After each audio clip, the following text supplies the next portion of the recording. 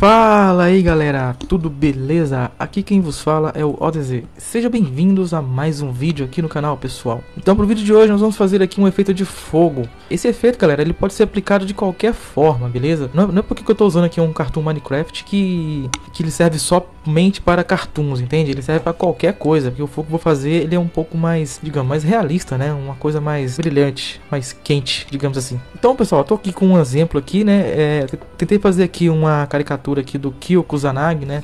Tentei transformar ele em polígonos gigantes, né? Deixar ele quadradão. Quem não sabe, o Kyo Kusanagi é um personagem do, jogo The King of Fighters, né? Inclusive tô tocando a música dele aí agora, que é muito boa por sinal. Primeira coisa que vocês vão ver aqui, pessoal, é uma, é uma time-lapse rapidinha, só pra eu finalizar esse desenho aqui de forma bem simples mesmo, tá? Não vou colocar muita coisa não, beleza? Então vamos lá.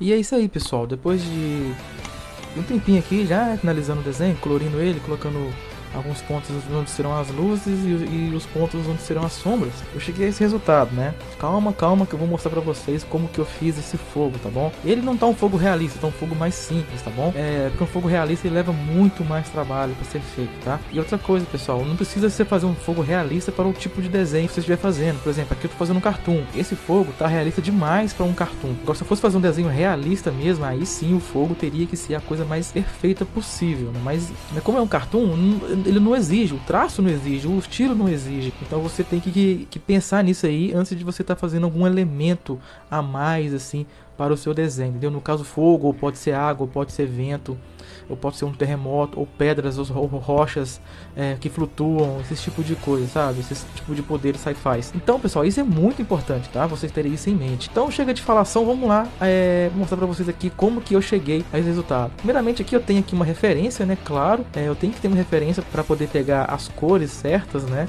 E a partir dessas cores aqui que eu fui criando, né? Então, o que eu vou fazer aqui agora é o seguinte, eu vou tirar tudo isso que você que nós estamos vendo aqui, ó, tudo, tudo, tudo, tudo, vamos fazer isso no fundo preto aqui para vocês entenderem como que eu fiz, beleza? Vocês podem ver aqui que, que ele tem várias cores, né? A cor base deste fogo aqui é o laranja, a parte mais escura, né? Sempre mais escuro é o, é o base, entende? Então, o que eu fiz aqui, eu peguei foi o brush soft, né? E a primeira coisa que eu fiz foi colocar uma, uma área maior onde vai ser o centro né, da, da luz do fogo, né? E com ele menor, vocês podem ver que ele vai consigo traçar com a mesma cor e eu consigo ter um, um traço um pouco mais marcado, né? E com isso, ó, eu vou é, desenhando o fogo mais ou menos igual tá ali. Não precisa ser igual, né? Porque um, um, fogo, galera, ele, ele não tem uma forma definida, né? Fogo e a água, eles não têm forma definidas. Então, ó, você vai criando assim algumas traços por cima, né? Não precisa ser nada perfeito nesse momento, tá? Pode deixar umas fagulhas para fora também, porque é interessante, né? O fogo ele se dispersa, né? Então é interessante você deixar umas fagulhas assim do lado de fora. Isso aqui é a base. Você pode olhar e pensar que não tem nada a ver com o fogo, né? A técnica que eu desenvolvi, pessoal, e vocês podem estar tentando fazer aí no desenho de vocês, é usar uma ferramenta chamada Liquify, né? É, no Photoshop tem, em alguns aplicativos de celular também tem, e eu não sei se o Paint to Size existe essa ferramenta. E como que ela funciona? Se eu passo ela aqui uma vez, você pode perceber que ele, ele meio que deforma aquilo que eu acabei de fazer, ó. Entende? Ele, ele dá uma espalhada, dá uma, dá uma, uma repuxada da, naquele traço, entende? Transforma o traço como se fosse um líquido, né? Ele trabalha como se fosse um líquido. Então assim eu vou fazendo movimentos em zigue-zague, entende? E eu consigo é, moldar melhor é, o jeito que eu quero. Você pode ver que ele já começa a tomar uma forma mais interessante, né? E isso aqui, pessoal, é uma coisa que vocês devem ter muita paciência, tá? Muita calma para fazer, porque é uma ferramenta um pouco complexa de se mexer, mas não é nada assim impossível, não é nenhum bicho de sete cabeças, ok? Então você pode, sem medo, ir mexendo nela e fazendo movimentos em zigue-zague. Você pode ver que já consegui um resultado aqui muito melhor do que eu tinha antes, né? Como vocês podem ver aqui, o fogo ele não tem apenas a cor laranja, né?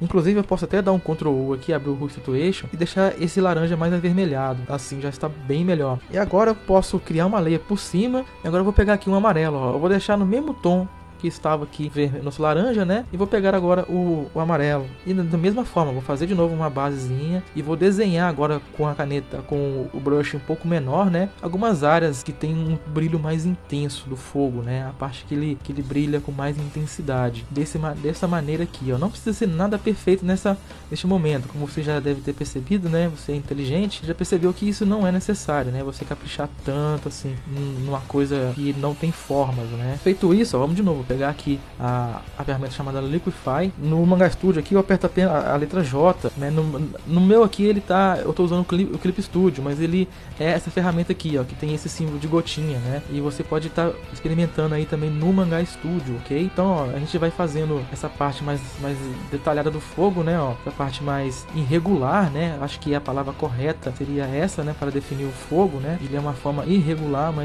forma de energia randômica, né? Bem aleatória. Então, a gente pode estar tá brincando aí livremente, sem medo. A gente pode estar tá aumentando o tamanho do pincel também, né? Para dispersar mais é, a tinta, né? Entre aspas. E assim você pode estar tá conseguindo também um efeito bem interessante. Pode ter que puxar a cor mais para cima. Você consegue fazer uma transição, né? Fogo desaparecendo, né? No ar. Ele. Vamos criar agora mais uma leia. Agora que vem o, o segredo, né? Eu vou clicar aqui, clicar aqui no, no Blend Mode das camadas e aqui eu vou escolher o blend chamado Glow Dodge, esse blend aqui, ó. O que, que ele faz? Ele queima as cores que já estão presentes no desenho. Se eu passo ele uma vez, ele vai queimar tanto o laranja quanto o amarelo. Então nisso aqui eu posso criar aqui um ponto de, como se diz, um ponto de fusão, né, onde o fogo tá queimando ali com todas as suas forças, né? E eu posso estar tá fazendo umas áreas ainda mais claras, né? Que no caso eu vou pegar as partes em amarelo, né? Que são as partes que é, é o amarelo é o tom mais vivo possível, né? Eu posso estar passando aqui por fora também para dar um efeito de brilho sobre ele inteiro, né? Então é isso aí, ó. Agora, para finalizar, você pode criar mais uma layer. E essa layer aqui, você vai mudar ela para agora para Add Glow. Ele é a mesma coisa, só que ele vai estourar ainda mais a cor. Então aqui você pode pegar um, uma cor mais puxada para o branco e pode estar tá colocando ele assim. Você pode estar tá fazendo duas coisas, né? Ou você pode estar tá colocando ele assim, né? Ele vai ficar bem estourado. Ou você pode estar tá colocando então, criando aqui, no caso aqui é o, é o degradê, né? E esse degradê chamado né, círculo, né? Então eu vou só pegar e clicar e arrastar ao tamanho que eu quero. E ele vai criar essa luminosidade luminosidade, né? Tá muito forte, você pode estar tá baixando aí a intensidade da luz e tá praticamente pronto, ó. Você pode pegar agora um pincel branco, pincel pena, né, que você usa para desenhar e fazer algumas partículas em branco assim, ó, algumas coisinhas assim que saíram voando, entende? Algumas coisinhas bem pequenininhas ou alguns pontinhos, tudo para poder incrementar, né, é, o desenho, colocar mais coisas interessantes, né? Algumas partículas de fogo que, porventura, elas, elas estão ali, né? Então você pode estar tá fazendo isso aqui, criando um rastro, né, com esses pontinhos, que isso vai dar um charme bem, bem, bem legal para seu desenho. Vendo? Você pode ter uns traços assim também, bem aleatórios. Não tem ordem para você fazer isso. Usa a sua, sua habilidade nessa hora, né, para fazer certo. Aí se você achou ruim, você pode estar voltando aqui para o Liquify, né? Pra dar dando uma, uma borradinha, alguns traços, ó. Pra dar um pouco de movimento também, né? Olha que bacana que já fica. Não precisa fazer em todos, só em alguns, né? E olha só, temos aí então um fogo feito digitalmente, né? De forma bem digital. E temos aí então, galera, o fogo. Você pode selecionar todas as layers aqui, ó centralizar, né, ou diminuir para você estar tá usando ele em outros projetos. Pode salvar ele assim, ó, do jeito que está aqui e salvar ele em PNG, entende? Só você tirar o fundo que você vai ter esse efeito, né? para sempre. E aí você pode estar tá colocando aí o seu personagem, né? Olha só que bacana. É, posicionando aqui da melhor forma possível, né? Diminuindo o tamanho, se for o caso, né? No caso aqui ficou bem exagerado, né? E beleza, olha aí. Tá aí o desenho com o fogo, né? E uma, uma, uma última coisa, galera, que vocês podem fazer para finalizar o desenho é você criar um, uma layer por cima um, do grupo que você fez o desenho, né? No caso aqui tá todo o traço todo a arte final. E esse grupo, com essa máscara, eu posso estar clicando aqui, pegando um pincel mais fino, mais, mais opaco, né? Posso estar mudando aqui a cor para Color Dodge. Eu posso estar pegando aqui a cor mais clara, por exemplo, do cabelo. A cor mais clara do cabelo é o brilho dele. Então eu posso estar usando ele para criar algumas luzes, né? É um reflexo do fogo, entende? Primeiramente você vai fazer assim de forma bem sutil mesmo, entende? É só para você demarcar aonde serão as partes mais luminosas, mais luminosas do seu desenho. Então vou fazendo aqui rapidinho aqui e vocês vão ver o resultado aí.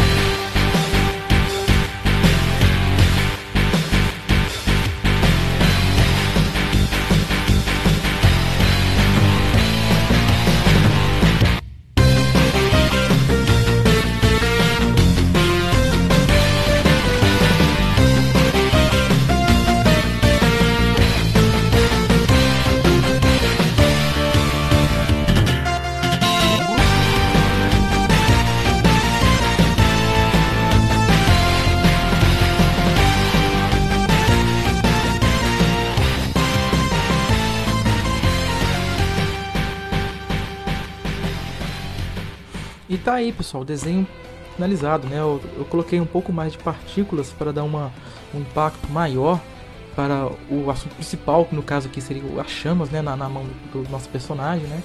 E um adendo, pessoal, se vocês quiserem adicionar também fumaça, né, fica a critério de vocês. E uma coisa que eu coloquei a mais aqui também foram brilhos na roupa e no personagem, né? Como eu disse antes, né? Eu realcei algumas partes mais claras, né, do nosso personagem, entende? E isso dá um, um, um tchan a mais, né? Isso valoriza um pouco o desenho, né? Isso dá um, um pouco mais de realismo, né? Daquela sensação de luz. Pessoal, uma última coisa que vocês podem estar tá fazendo aqui, para finalizar mesmo o desenho, dar um, um tchan ainda mais interessante nele, é o seguinte. É, vamos criar aqui uma leia por cima de tudo. E agora você vai pegar a ferramenta soft.